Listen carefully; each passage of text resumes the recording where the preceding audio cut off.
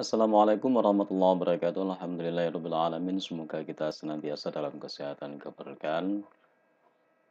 Kali ini kita akan mempelajari user interface dari Mastercam 2021 atau tampilan layar dari Mastercam 2021. Setelah kita buka, kita bisa melihat di sini ada menu file. Kembalinya seperti ini, diklik home, wireframe, surface, solid, model preparation, drafting. Ini untuk pengukuran ya, transform, dynamic, translate, rotate, mesin, kemudian view.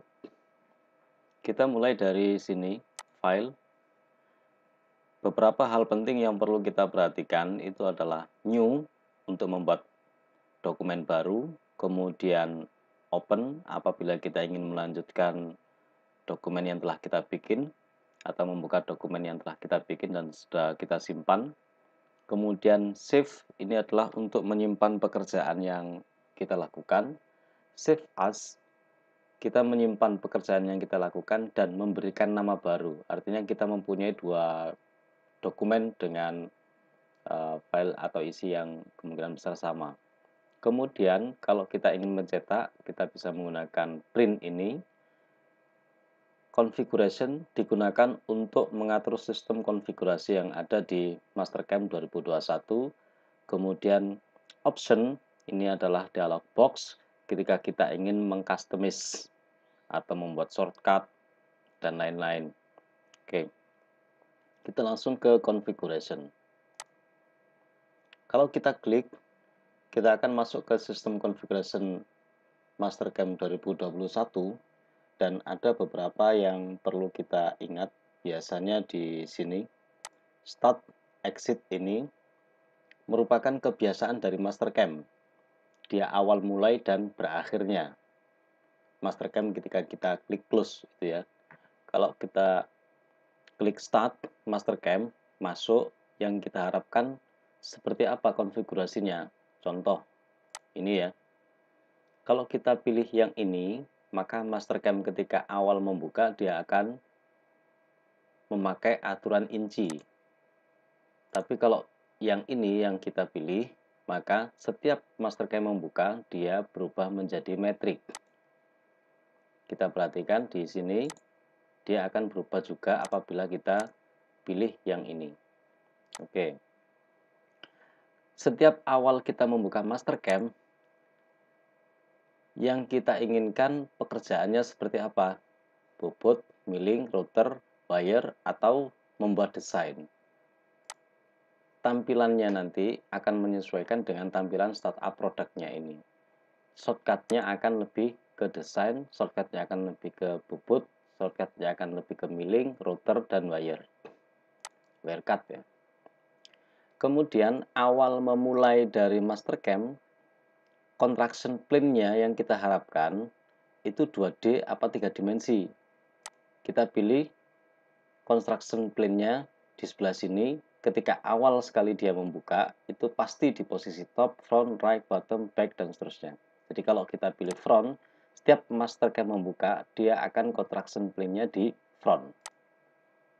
Tapi yang umum itu di posisi top. Ini. Ini hal yang penting ya. Kemudian hal yang penting lagi yaitu di dimension and node. Kalau kita klik plusnya akan ada tambahan. Ini ya. Kita mengatur bentuk anak panahnya seperti apa itu dari sini. Dimension and node. Atau kalau kita gunakan shortcut, kita menggunakan ALT plus D. Contoh ini kita rubah menjadi triangle, fillet, dan ukurannya juga bisa kita rubah. Kalau cocok sudah klik OK. Dan berikutnya pada saat toolpath ya. Ini yang penting. Kalau memori kita itu besar misalnya 16 GB atau sampai 24 atau 32 kita bisa menentukan memori bufferingnya berapa dari physical memory ini Bapak gunakan 60%, biasanya di sini itu 50% ya. Semakin besar memori yang di sini yang kita gunakan, maka ketika tool pathing ruangnya akan lebih lega. Artinya laptop tersebut akan lebih ringan ketika ketika kita menggunakan Mastercam. Namun dia juga akan berimbas ke program yang lain ya. Karena ketika buffering dia akan nyedot memori berapa persen sesuai dengan yang ada di sini.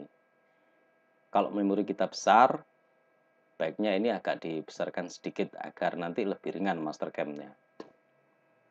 Ini beberapa hal yang penting.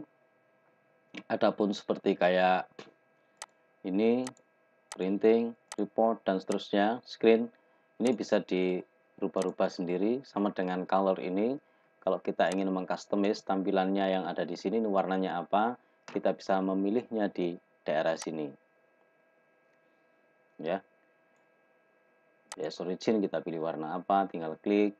Kemudian edge motion dan seterusnya ini bisa dicoba-coba tapi Bapak lebih suka dibiarkan aja kalau sudah cocok klik OK ya karena ini sudah Bapak setting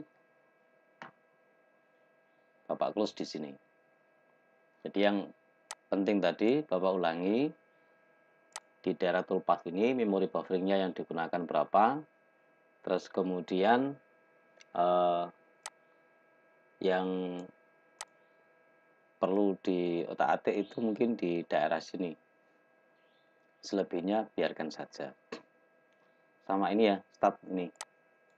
Start and exit ini. Kita pilih inci atau kita pilih metrik ini yang penting barangkali ketika kita install itu lupa posisinya masih inci sedangkan kebiasaan kita menggunakan metrik maka kita bisa bisa memilihnya dari sini oke okay itu adalah menu file. Tampilan menu file akan seperti ini. Oh, sorry ya. Ini tadi menu file ya. Kalau tampilan home itu akan seperti ini. Ada cut, copy, copy image, dan seterusnya. Kemudian kalau kita ingin menggambar dua dimensi, kita bisa memilihnya di wireframe.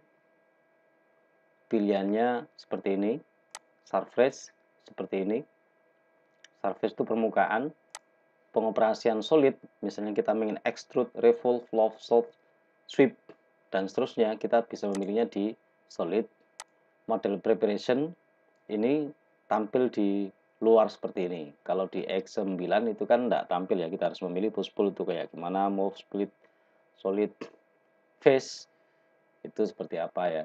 Di X9 kan sudah pernah kita bahas cuma tampilannya yang berbeda.